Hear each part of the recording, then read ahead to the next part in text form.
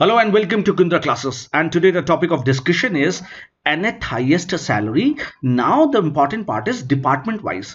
अभी तक इससे पहले हमने सीखा कि nth highest salary निकाल तो रहे हैं लेकिन हम एक टेबल में से उसमें बहुत सारे एम्प्लॉयज़ हैं उनके अकॉर्डिंग निकाल रहे हैं बट एक टेबल में एक ऑर्गेनाइजेशन में डिपार्टमेंट भी तो बहुत सारे होते हैं अब हर डिपार्टमेंट के अकॉर्डिंग वहाँ के सेकंड हाई सैलरी क्या है या थर्ड हाई सैलरी क्या है या फोर्थ हाई सैलरी क्या है, ये क्वेरी करनी है अब हमें।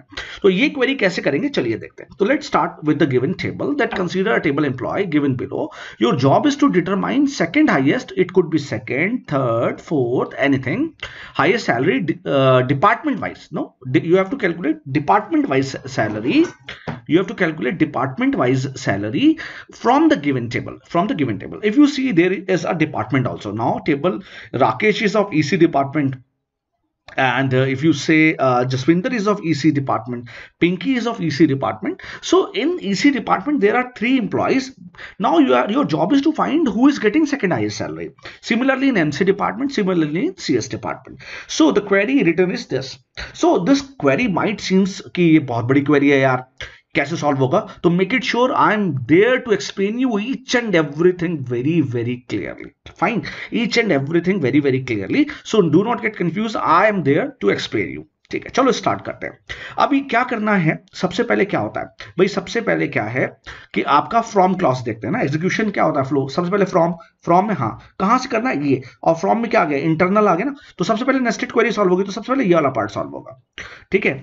तो अब सबसे पहले जब इंटरनल क्वेरी सॉल्व होगी तो इसमें भी सबसे पहले फ्रॉम है हाँ फ्रॉम है। अब फ्रॉम के बाद क्या वेयर है? नहीं इंटरनल क्वेरी पे वेयर नहीं है। ये जो वेयर है, वो बार वाली क्वेरी का ओके उसके बाद सेकेंड क्या है?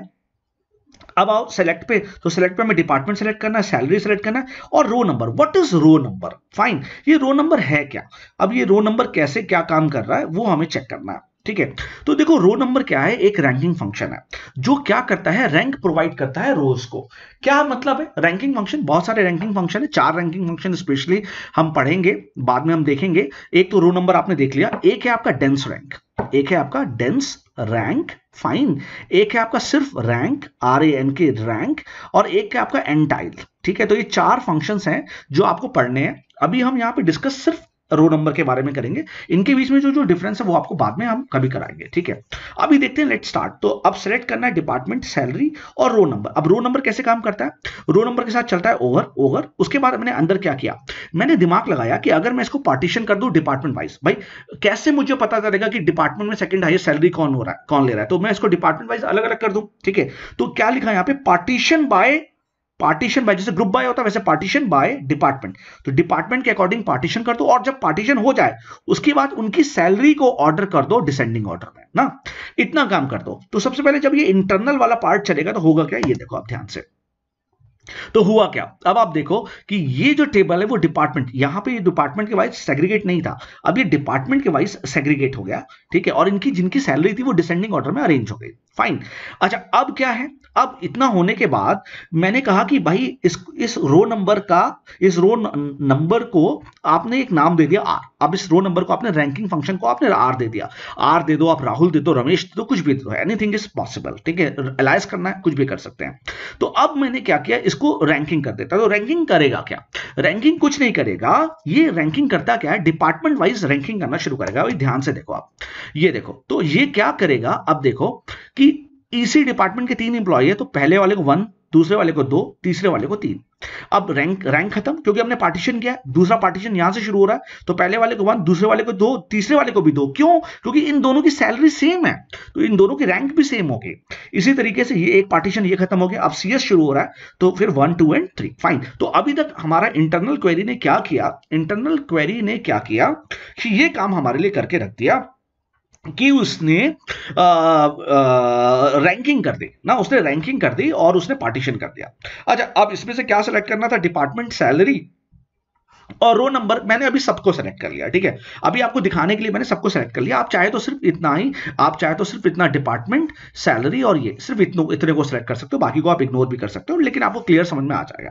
अच्छा जब इंटरनल क्वेरी खत्म हो गई तो अब हम एक्सटर्नल पे आए। तो एक्सटर्नल में फ्रॉम वाला पार्ट हो गया। अब वाला कौन सा पार्ट शुरू होता है? वेयर वेयर वाला। Where R is equal to two अब आर इज़ टू टू हमें तो कौन से चाहिए? What is second highest salary तो डिपार्टमेंट वाइज अगर सेकंड हाईएस्ट सैलरी की बात करें तो जिनका जिनका नंबर दो है, वही तो सेकंड हाईएस्ट सैलरी है। तो अगर एमसी डिपार्टमेंट की बात करें, यहाँ पे सेकंड हाइएस्ट सैलरी दो लोग ले रहे हैं, अमित और अभिषेक। और ये ये हो गया हमारा, ठीक है सॉरी ये हो गया आपका। तो जो जो एरो है, वो सेकंड हाईएस्ट सैलरी है। तो वही तो मैंने कहा कि अब भैया तुम क्या करो डिपार्टमेंट और सैलरी निकालो, कहाँ से? फ्रॉम इसके अंदर से, जहाँ पे आर की वैल्यू दो हो। तो अब ये देखो भाई तो हुआ क्या? अभी फिर मैंने क्या किया? मैंने पूरा टेबल ले लिया। तो आर की दो वैल्यू वाले ले लिया तो आर की दो वैल्यू वाले ले लिया ठीक है? अब तो आपका काम क्या है? अब आपका काम क्या है कि नहीं भैया, मुझे तो क्या चाहिए? डिस्टिंक्ट वैल्यू चाहिए। मुझे ये नहीं कि अगर मान लो एक डिपार्टमेंट में पाँच लोग सेम सैलरी ले रहे हैं सेकंड हाईएस्ट तो पाँचों का नाम नहीं आना चाहिए। भाई, मुझे तो बस सेकंड हाईएस्ट सैलरी क्या है? वो तो इसलिए मैंने यहाँ पे क्या लगा दिया? डिस्टिंक्ट तो सेलेक्ट डिस्टिंक्ट क्या? डिपार्टमेंट अलग अलग हो और सैलरी अलग अलग हो। तो जैसे ही अब मैं इसको रन करूँगा तो देखो क्या हुआ। तो डिपार्टमेंट आ गया। और सैलरी तो इसी में second highest salary thirty six thousand है एमसीए में थर्टी फाइव थाउज़ेंड है और सीएस में thirty nine thousand five hundred है। क्लियर तो ये था आपका क्वेरी कौन सा क्वेरी ये आपका क्वेरी था कि second highest salary department wise कैसे निकालते हैं। ये तो भाई थ्योरेटिकल पार्ट था। तो अब इसको क्या हम रन करा के भी देख सकते हैं? क्या एक्चुअल में जो हम पढ़ रहे हैं, वो हम सही में पढ़ रहे हैं या गलत पढ़ रहे हैं? तो let's see the actual query तो लेट्स सी मैंने इसको स्किप किया। स्टार्ट किया। मैंने ओरेकल टेंजी खोला हुआ है ऑलरेडी तो अब मैं ओरेकल टेंजी में पहले आपको क्वेरी दिखा देता हूँ।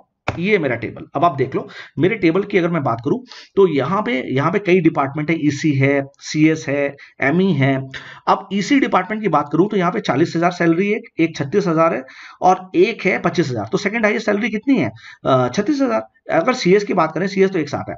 सीएस में सेकंड हाईएस्ट सैलरी क्या थर्टी टू थाउज़ेंड फाइन तो अब जो क्वेरी मैंने लिखी थी, वही क्वेरी मैं लिख दे रहा हूँ आपके सामने, ठीक है? अब ये जो क्वेरी थी ये क्वेरी मैंने लिखी हुई, देखो ये क्वेरी लिखी हुई है। सेलेक्ट डिपार्टमेंट सैलरी फ्रॉम ये जो क्वेरी अभी अभी मैंने आपको ओवर पार्टीशन बाई है वो, ये सेम क्वेरी मैंने लिखी हुई है where R is equal to two क्योंकि मुझे सेकंड चाहिए थर्ड चाहिए तो थ्री हो जाएगा। अब जैसे मैंने इसको रन कराया तो देख लो आप। सीएस में थर्टी टू थी ईसी e में थर्टी सिक्स थाउज़ेंड थी एमई e में ट्वेंटी फाइव थाउज़ेंड थी। एक और डिपार्टमेंट था सी एस टी ये क्यों नहीं आया? क्योंकि सिर्फ़ इसमें एक ही बंदा था। तो जब एक ही बंदा है तो सेकंड हाईएस्ट सैलरी क्या होगी? फाइन तो आपका क्वेरी जो है, वो बिल्कुल अच्छी तरीके से काम कर रहा है। तो बहुत बहुत धन्यवाद। Thank you so much for watching Kundra classes. Please like, subscribe and share the channel. Thank you. Thank you. Thank you so much. Thank you.